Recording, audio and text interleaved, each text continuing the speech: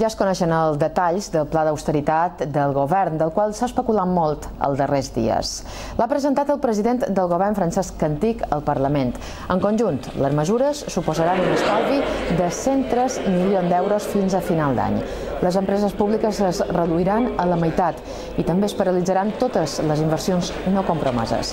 El cap de l'executiu ha de cercar el suport de l'oposició per dur a terme uns increments fiscals que augmentin els ingressos entre uns 25 i 30 milions d'euros.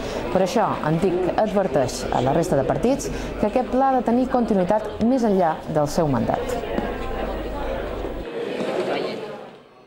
La reducció del dèficit públic i tots els problemes que se'n deriven és un procés que va més enllà de la legislatura. Per això és un pla que ha de tenir vigència fins al 2013. Per tot això, tem plena confiança en el sentit de la responsabilitat dels grups polítics i també dels agents econòmics i socials. Sé que aportaran idees constructives per emprendre les mesures d'ajustament més adients que aixecaran la corba del creixement. Les mesures del president no han agradat de la mateixa manera als partits. Mentre que el PSIP i el Bloc consideren suficient la reteada de conselleries, l'oposició l'augmentaria. L'increment dels imposts continua sent un escull que Francesc Antic haurà de superar. Tenim la iniciativa més polèmica del president de la comunitat és la pujada d'impostos. Ni el Partit Popular ni Unió Mallorquina donen suport en aquest punt a Francesc Antic. El PP opina que abans de fer pagar als rics s'hauria de reduir l'administració. Consideren que el president hauria de pressionar consells i ajuntaments perquè s'assumin aquest esforç de contenció. No basta dir, com diu la senyora Bengal, alegrament, que paguin els rics Llavors parlarem d'aquesta qüestió. La qüestió no és només que paguin els rits. Per dir això amb autoritat, hi ha que retear molt de gasto públic superflu que en aquest moment tenim. Pujar impostos és penalitzar l'economia i perjudicar el consum. Per molt que aquesta pujada d'impostos se vulgui millorar, endolcir, amb rentes altes i la solidaritat, els socialistes manifesten que l'increment de les taxes i la rebaixa del sou dels treballadors públics són l'eix dels plans d'austeritat que s'apliquen als principals països d'Europa. Esto es lo que pasa en toda Europa. El que no le parezca bien estar en España, pues si quiere irse a otro sitio tendrá que ir hacia África, porque hacia el norte todo el mundo hace lo mismo. El bloc, tot i reiterar la seva lleialtat institucional, ha demanat a Francesc Antic que no retalli drets socials, com considera que ha fet el seu homòleg al govern central. Malgrat sigui difícil per vostè, senyor president, planti cara la situació. No se deixi arrossegar el desastre per les mesures antisocials erràtiques i equivocades dictades pel govern Zapatero. S'obre ara un camí de negociacions.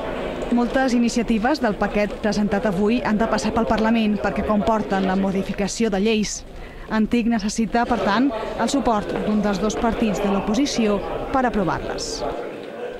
Aquestes són les mesures que pretén adoptar el president del govern balear, Francesc Antic, per reduir la despesa en 103 milions fins a final d'any.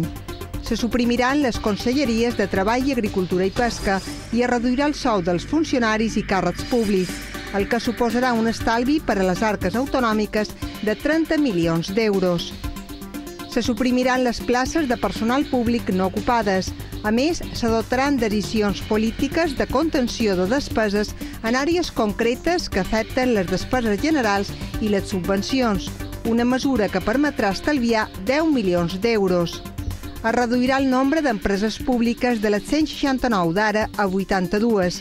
A més, se'n retallarà un 5% el pressupost de cada una, el que significarà un estalvi de 33 milions d'euros. S'eliminaran aquelles inversions pròpies que encara no han iniciat els tràmits administratius. Això suposarà estalviar uns altres 30 milions d'euros. Aquest pla de reducció de la despesa suposarà economitzar 103 milions d'euros. fórmules impositives per aconseguir millors ingressos, destaca la pujada del 7 al 8% de l'impost de transmissions per als béns superiors a 450.000 euros la pujada d'un punt en el tram autonòmic de l'IRPF per les rendes superiors a 100.000 euros. S'ha proposat també una tarifa progressiva a l'impost de successions que aniria des de l'1 al 20%, segons la base liquidable. La creació d'un nou impost ambiental que gravi les empreses més contaminants. A més, s'intensificarà la lluita contra el frau fiscal, unes mesures que permetran ingressar entre 25 i 30 milions d'euros a la comunitat autònoma.